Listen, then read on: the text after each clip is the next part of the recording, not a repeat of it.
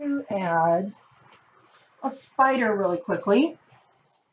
Now the spider needs to be sitting on your web somewhere, and I'm just going to make him in black since I got loads of colors going on around here.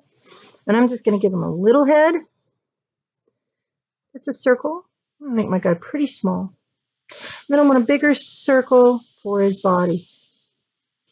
Now, spiders have eight legs.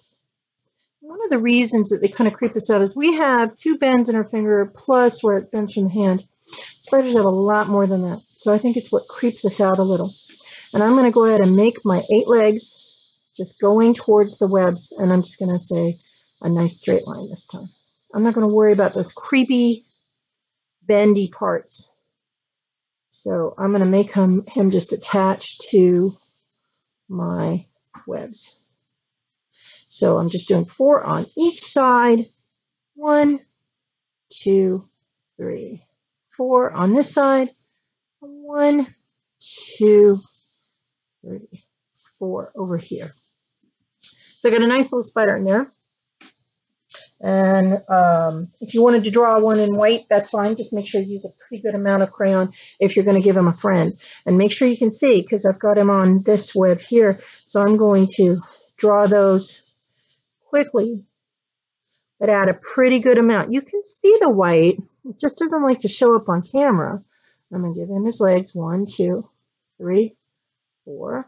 One, two, three, four. So if you want to try that, that's fine. And if you say, you know what, I don't like the white crayon, I can't see it that well, I don't want to do it, then don't worry about it. Don't do it. Um, we're going to add some water on here. I think we're done with our crayon parts. And I'm to go ahead and add some water, pretty good amount. The more water I'm trying to use, the more it's going to get it off of my tissue paper. So this is going to take you some time.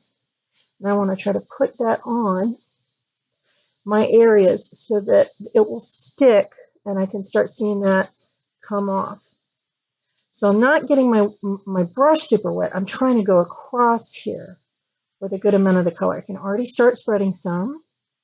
So if you have a favorite color that you want to use, like in my case, I love green, I can go ahead and do that. Now I got to watch out for my yellow because yellow can get washed away and that's fine it's just, it's a good amount of pigment. It's just brighter than the other. So I'm going to add in some different colors here. Now they're sitting on top. So that means that I need to add a good amount of water to get these to have the color start coming off of the tissue. And that's okay. Now it's already blending into my yellow there, but it's really fun and it's really worth it. Now this green one is not attached to anything. So if your if your papers are starting to move away, just put some water down in your paper, then put your square down. And then that way, the color will get off of the squares a little bit better. So I'm going to go ahead and add a few more. Oh, my cat has decided to join us. Hang on just a minute. Sorry about that. My cat wanted to come up and see what I was doing. So I'm going to keep adding some squares, but I got to make sure it's definitely coming off better if I'm just putting some plain water down first. So if I know for sure where I want my squares to go, I can go ahead and put some water in that area first and then add my tissue paper. These two are stuck together. Here we go.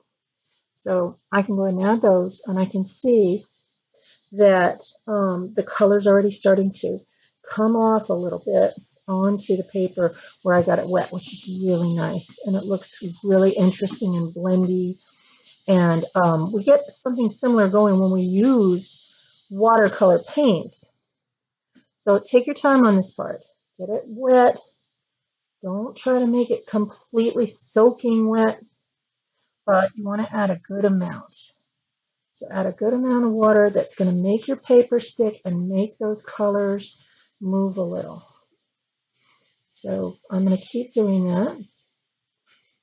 And I see that some color's coming off, so maybe I'll spread some of that around on my paper and fill my stuff in. So I'm going to keep going, and I'm going to add a few more squares. What you want to do is finish this up whatever way you like. Yours does not have to look like mine, and you can look for your favorite colors and spread them around on your paper. So I'm going to get a little bit ahead so that we can see what our final project is going to look like. Okay, so really quickly here I sort of am in progress and I'm finding that a lot of my little tissue papers definitely want to stick together. So you want to make sure that as you're working, you don't still let them try to kind of come apart as chunks of paper. You want to try to separate those and organize them if that helps you to find them where they are. Uh, you know, figure out which ones are black, which ones are brown, which ones are dark, um, and which ones are light of the same colors. And you can always flip them over. Like when I pick this up, my brown is stuck to it. So I want to make sure that my brown is where I want it to be and that my green is where I want it to be. Or if you're trying to do a color blend, that's fine. It's just that there probably isn't enough of the tissue paper to do too many. Black is a lot of fun with the tissue paper squares. Um, just be careful that it's not going over a color that you really, really, really, really like because um, it will dominate it. It's something about how the paint is made, how the color is made even in our crayons. It's so, so deep. So I'm going to finish filling up my paper with all kinds of different colors and get ready to give it a quick spray.